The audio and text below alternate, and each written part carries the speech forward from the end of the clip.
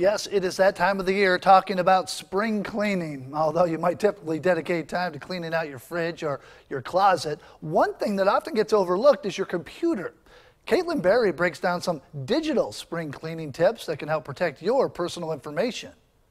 When it comes to cybersecurity, your computer may not be as safe as you think. All data is kind of uh, being targeted. Dallas Hazelhorse has been helping customers recover from cyber attacks for more than a decade. He sees more and more cases every day. I only see it getting worse. It's going to get worse as more businesses are targeted. But there are several simple things you can do to protect valuable digital data. Keeping your software up to date is probably probably uh, 50 60% of the battle. Take the time to install all updates. It could fend off the newest hacking trends. The other simple step you should take strengthening your passwords. The best thing to do is actually don't use any words use a combination of letters, symbols, and numbers.